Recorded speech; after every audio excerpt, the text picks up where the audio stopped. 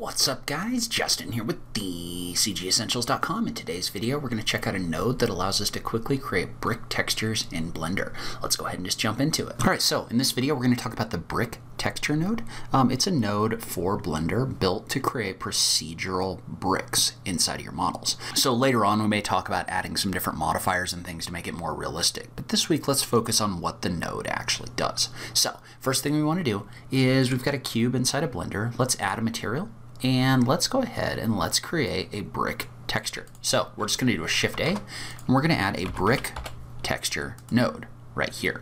Then I'm just going to take the color and I'm going to drag it into the base color of my principled BSDF. What that's going to do is that's going to give me a brick texture that's applied to the surface of my cube right here. So notice how at the moment this is applying straight down on my object right here. We can fix that in a second. But first, let's focus on what this is doing. So if we look at our brick texture node right here, notice how we have options in here for different things that we can adjust that affect the way these boxes lay on this face. So for example, if I adjust the offset, what that's going to do is that's going to take these bricks and it's going to align them like this. So if you want them to be just like straight like this, then um, you'd set your offset to zero. If you want them to be offsetting, you can set the amount of offset in here by adjusting the offset value. 0.5 is going to make these so they are exactly halfway um, on each row. So they're kind of like moving and alternating halfway both ways. So frequency is going to allow you to set how often this offset occurs. So if I set my frequency to three, right, then you're going to get two rows that are offset, one row that isn't. So it's going to give you two rows that are offset and one row that isn't. Um, so you can use this to adjust how often that occurs. So notice how you start getting interesting results the more that you do that. Um, usually for a standard brick material though, you're going to set your frequency to 2. So your squash is going to set how wide the bricks are that are being offset. So notice how every other row, this is affecting um, the thickness of the brick. So let's say we were to turn this up, right? Let's say we were to set our squash to like 1.4, but then we were to turn our frequency up or down. Notice how you're going to get more or less of those squashed bricks in here. And then you can also adjust the frequency value right here. So I'm going to put this back to 1 so that we have this kind of uniform brick texture. So next we've got the vector node. And what we can do with the vector node is we can plug our UV uh, texture coordinate node in here. All right, so for our texture coordinate node, we're going to take our UV and we're going to plug it into our vector right here. That's going to take the UV map of the object and it's going to apply it to this brick texture. So notice how now your brick texture is actually going to follow along on this object.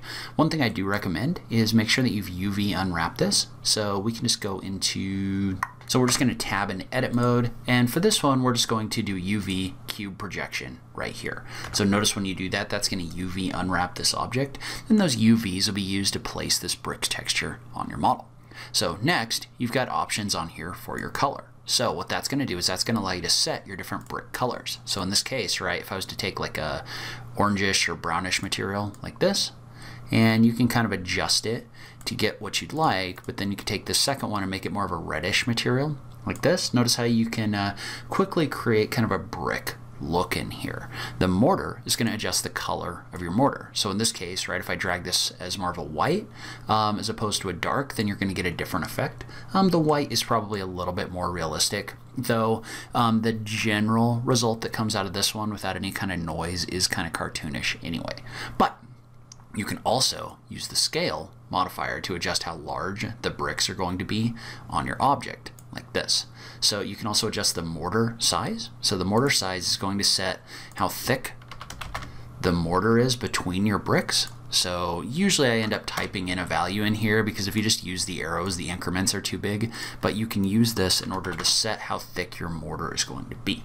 So then your mortar smoothness is going to do exactly what it sounds like. It's going to set how smooth your mortar is um, on your object right here. So if I turn my smoothness up, notice how I don't have very pronounced edges around here. If I turn my smoothness down, then those are going to be very sharp edges. So your bias value is going to affect the color variation between colors um, 1 and 2. So if you were to put a value in here of 0, right, then um, it's right down the middle. Um, if you were to type in a value of negative 1, notice how all of your bricks are going to be the color of color 1. If you set it to 1, then all of your bricks are going to be the color of color 2. So you can use this to um, affect how many bricks are going to be a certain color. So for example, if you want more of them to be this darker material, you would turn your bias up in that direction. If you wanted more of them to be the light material, you would turn your bias down. So you can use this in order to kind of customize the blending between the two colors that you have selected in here. So brick width is going to do exactly what it sounds like. Um, it's going to affect the width of the bricks right here.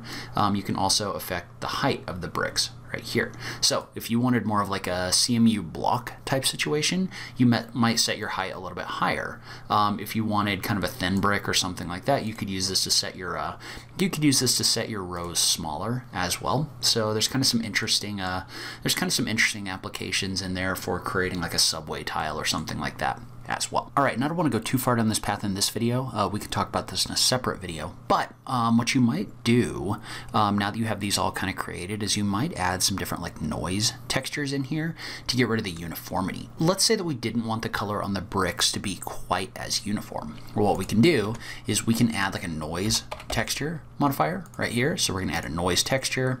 And we don't want to plug this into this node. What we want to do is we want to add a color ramp node right here. What that's going to do is that's going to allow us to plug the factor into the factor right here. And then it's going to allow us to plug the color into this first color. Well, what that's going to do is that's going to allow us to set our bricks so that they've got a little bit of uh, a little bit of detail to them. Um, so what they're going to do is they're going to alternate between these different colors, right? So what I'm going to do is I'm going to drag these in a little bit, but I'm going to set these two colors to kind of that reddish color that we had in here before. So maybe something like this. And then for this other one, let's say we wanted this to kind of like alternate to more of like a darker red, something like this. So we'll drag this down a little bit. Really doesn't matter what the colors are, that's kind of your artistic license. But if we take our noise texture and scale it up, notice how what we're getting is we're getting noise in the colors of the bricks right here. So what that means is that means that brick material in here is no longer just uniform, um, it's a lot more rough right? And we can do the same kind of thing with uh, like our mortar color. So let's say we're to take this whole thing, do a Shift D and duplicate it, but this time we're going to drag it into our mortar. And we want to set our mortar so that we've got a little bit of variation in here between the first and the second. So I'm going to set both of these to kind of like a lightish color. So I'll set this first one to like a white. We'll set this second one to like a gray something like this. But again, notice how now we're getting variations in the color. And for this one, we might want to adjust that scale a little bit in here. But notice how you can use this so that your colors are no longer 100% uniform in here.